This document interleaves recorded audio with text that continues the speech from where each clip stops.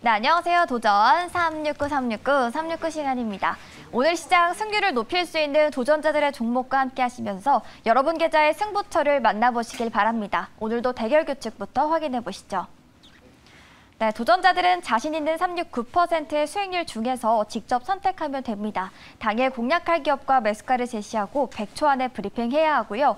목표가에 터치하지 못할 시 종가에 매도가 됩니다. 1일에도 주목해 보시면 좋겠는데요. 수익률 1위의 도전자를 뽑게 되는 만큼 기대해 주시면 되겠습니다. 어떻게 달려나가고 있을지 수익률도 확인해 볼게요. 어제 김용환 도전자는 하루에 2.3% 수익을 냈는데요. 사우디 주택부 장관의 방한 수혜주로 까뮤 E&C에 편입했습니다. 계속해서 순위도 확인해 보시죠. 신강선 매니저가 이번 달 7번의 목표가 터치로 1위고요. 2위 자리에는 여전히 이창원, 최현덕 도전자가 올라와 있습니다. 남은 이틀 동안 순위에 어떤 변화가 생기게 될지 기대가 되는데요. 1위를 갈 수 있을지 기대해보면서 오늘은 이창원 매니저 이야기부터 들어보도록 할게요. 매니저님 안녕하세요. 네, 안녕하십니까. 이창원입니다. 네, EV 첨단 소재로 2% 수익을 챙겼는데요. 오늘 재공략해도 좋을지 여쭤보도록 할게요. 네, 우선은 뭐 EV 첨단 소재 같은 경우에는 어제 좀 가다가 아, 조금 밀려, 밀리는 모습 보여줬는데 오늘은 현재가 1175원에서 다시 재매수도 충분히 가능한 구간입니다. 그래서 언제든지 어, 리튬, 스타 리튬 쪽은 어, 지금 테마로서 어, 충분히 가치가 있다라는 거 좀 말씀을 좀 드릴 수가 있겠고요. 오늘은 제가 여러분들 이제 얼마 안 남았는데 어, 지금 그 목요일 날 또 크게 좀 이슈가 될 만한 종목을 한번 공략 한번 해보도록 하겠습니다. 자 지금 그 목요일 날 그 12월 1일인데요.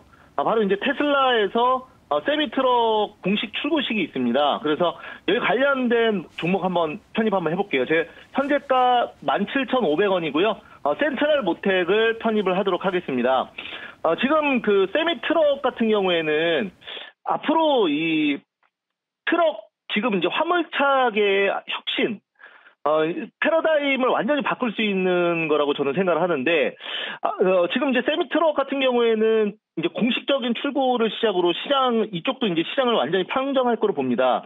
우리가 이제 화물차 기사분들의 가장 큰 걱정은 이제 기름값이죠. 근데 이건 전기와 전동화하면 함으로써 어, 경제성과 효율성을 높일 수 있는 어, 세미트럭 앞으로 어, 상당히 기대가 되는 부분이다라고 말씀을 좀 드릴 수가 있겠고요. 가장 그, 그 센트럴 모터 같은 경우에는 기가 팩토리에 이제 같이 들어가는 종목이고 어, 컨트롤 암을 만드는 회사죠. 그래서 가장 테슬라의 어, 밀접적인 관련이 있기 때문에 어, 센트랄모텍 지금 자리에서 한번 공략 한번 해보도록 하겠습니다.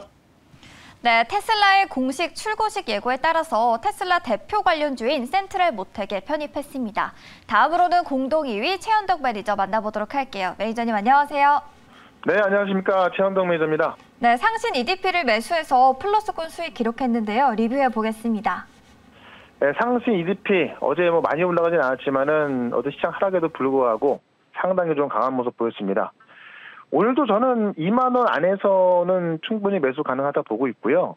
워낙에 지금 이 원통형 배터리는 이 전기차의 게임 체인저로 불리고 있기 때문에 어, 특히 삼성 SDI가 아직 결정을 못했거든요. 근데 충분히 긍정적인 결정이 나올 수 있기 때문에 상승 이지피는 2만 원까지는 추가 매수 가능하다 이렇게 말씀드려 보겠습니다. 네, 외국인 쪽에서도 6거래일 연속 수급이 들어오고 있기도 하고요. 2만 원까지 매수 가능 의견이었습니다. 오늘은 어떤 테마에 주목해야 할지 공략주 소개해 주시죠.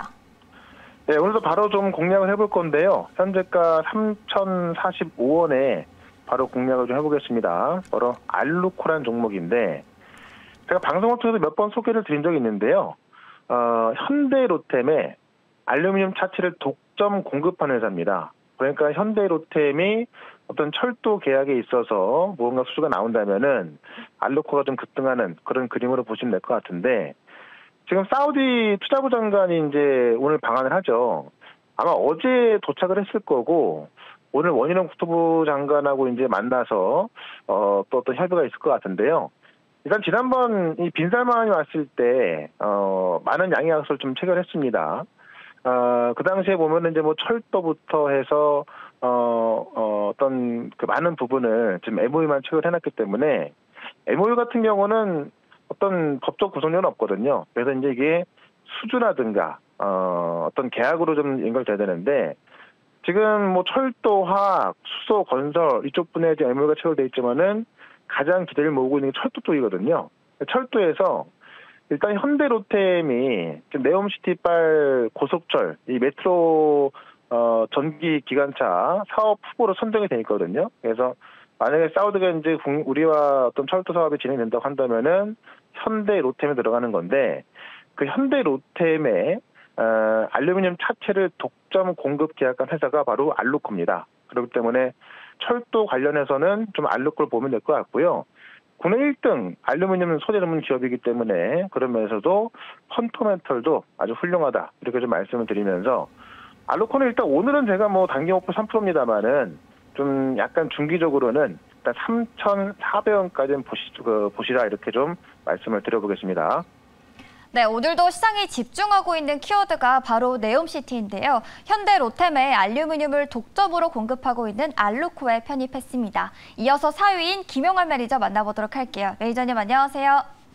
네, 안녕하세요. MBN골드 김용환 매니저입니다. 네, 어제장에서 까뮤이앤씨로 든든한 수익을 냈고 어, 핑거도 신고가 경신을 했습니다. 리뷰해 볼게요.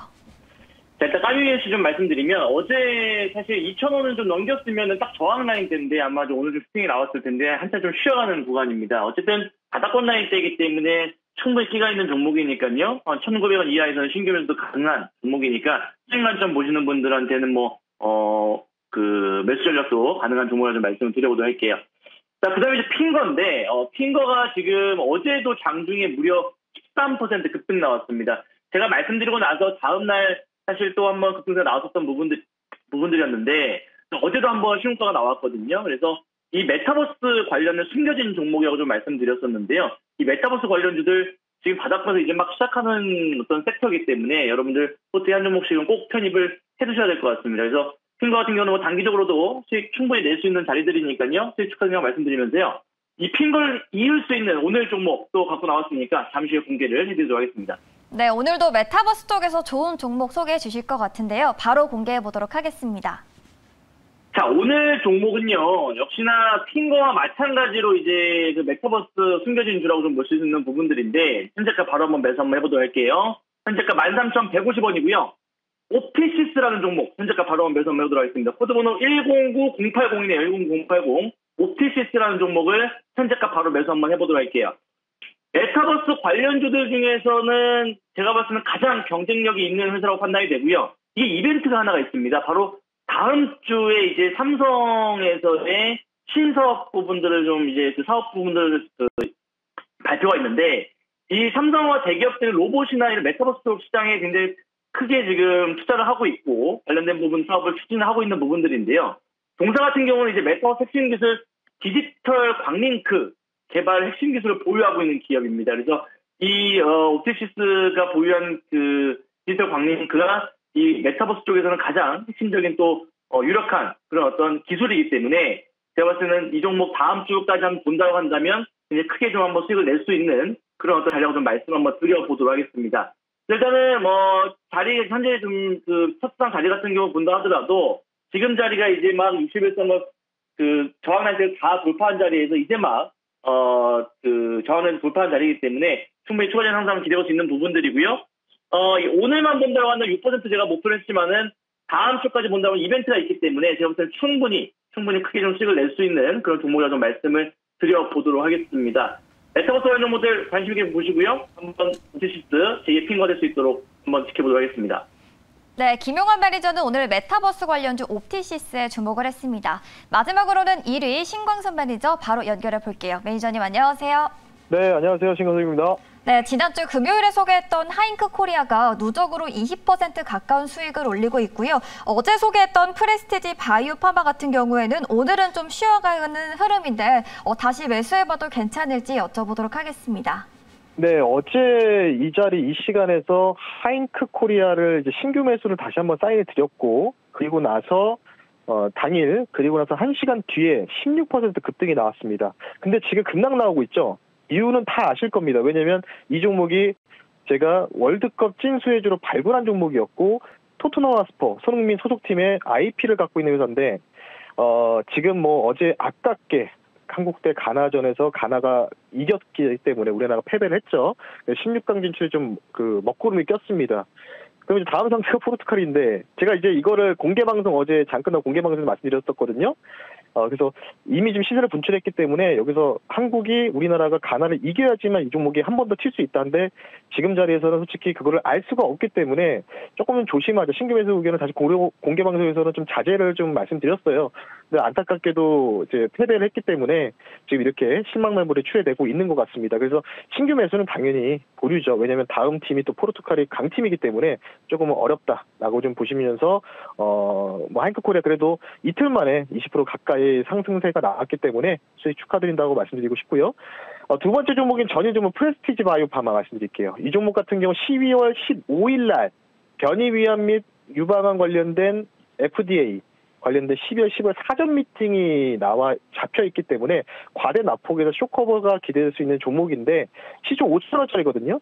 저는 뭐 시장이 이렇게 조금씩 좀 빠질 때마다 그래도 모아갈 수 있는 종목이라고 좀 판단돼서 12월 15일까지는 조금은 어, 3,800원 내외에서는 계속 신규 매수 가능하다라고 말씀드릴 테니까요. 조금 더 한번 지켜보시는 전략 좀 필요하다라고 말씀드리면서 마무리하겠습니다.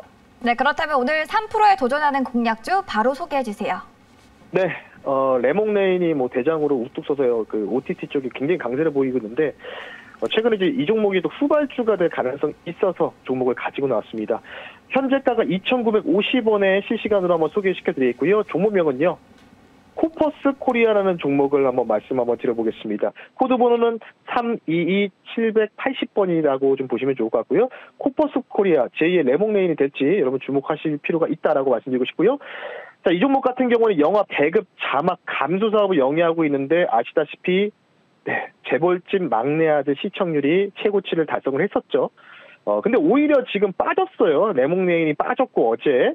근데 이 회사가 그 국산 콘텐츠죠. 드라마 예능 웹툰에 대해서 일본에 배급을 하고 있습니다. 그리고 재벌집 막내 아들에 대한 일본 판권도 보유를 하고 있기 때문에 그것 때문에 최근 이틀 전에 상한가에 도달하는 모습 나왔는데 오히려 래몽래인 같은 1등 종목이 좀 눌리면 2등, 3등 주들이 1등을 치고 가는 이런 패턴이 나올 수밖에 없습니다. 아, 그리고 지금 중국에서도 제로 코로나 정책 때문에 그 굉장히 좀 많이 어, 혼란스러운 상황인데 중국 정부가 좀 의도적으로 OTT 한한령을 해제했던 부분들이 있기 때문에 그에 대한 수혜도 저는 개인적으로 기대된다라고 좀 말씀을 드리고 싶어서 목표 당일 수익률을 플러스 3%로 제시하지만 어, 래몽래인을 제낄 수 있다는 좀 기대감이 있어서 어, 최종 목표 타겟은 3,500원까지 좀 제시해 드릴 테니까요. 오늘 좋은 눌림목 나오고 있으니 관심 있게 지켜보셨으면 좋겠습니다. 네, 이렇게 마지막 도전자까지 함께 만나보셨습니다. 네, 오늘도 다양한 섹터에서 종목들이 공개가 됐는데요. 이 시간에만 소개되는 종목들 통해서 성공적인 투자하시길 바랍니다.